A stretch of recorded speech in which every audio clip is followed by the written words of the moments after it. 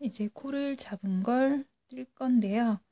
어, 이게 코가 꼬이지 않게 꼬이지 않게 잘 확인을 해야 돼요. 가끔 코를 잡다 보면 이렇게 꼬여 있는 경우가 있거든요. 그러면 편물도 꼬이겠죠. 그래서 꼬이지 않도록 잘 편 다음에 실이 바늘의 뒤편에 있게 한 상태에서 원통으로 뜰 거니까 바로 겉뜨기를 하시면 돼요. 겉뜨기 실을 아래에서 위로 감아서 겉뜨기 첫 코는 조금 세게 실을 당겨주시는 게 좋거든요. 앞에서 바늘을 뒤로 넣어서 아래에서 위로 겉뜨기를 뜨시면 돼요. 찔러서 실을 아래에서 위로 감아서 바깥으로 빼면 돼요. 이렇게 뜨는 걸 아메리칸 방식이라고도 하고요.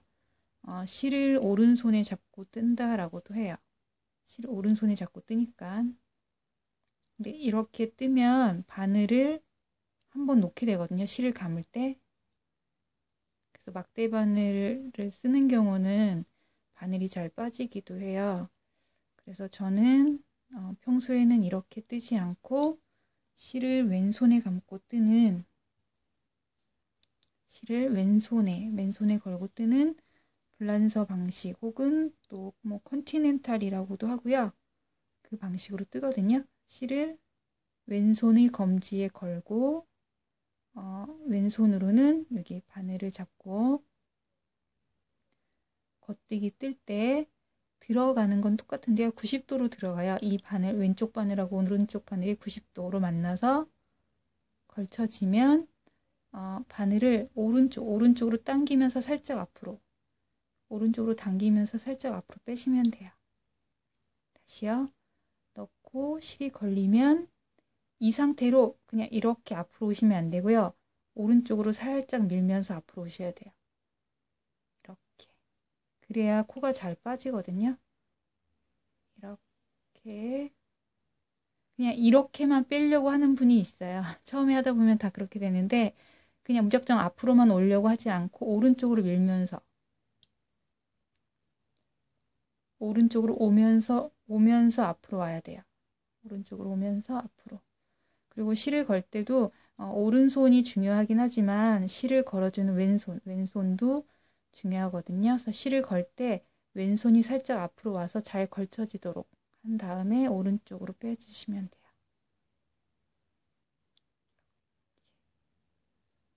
이렇게 뜨면 양손 바늘, 양손이 항상 바늘에 걸쳐져 있고 또 음, 속도가 훨씬 빨라요.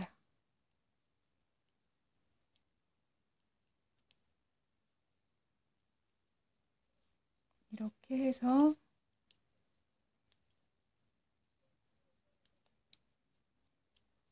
빨리 떠볼게요.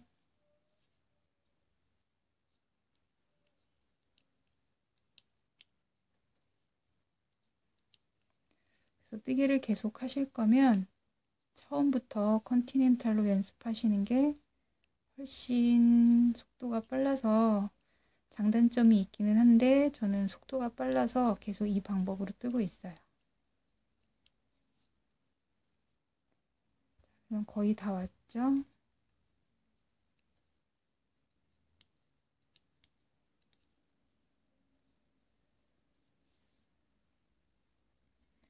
여기가 마지막 코예요.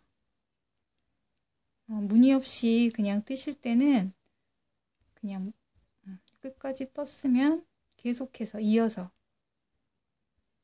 이어서 그냥 계속 뜨시면 돼요.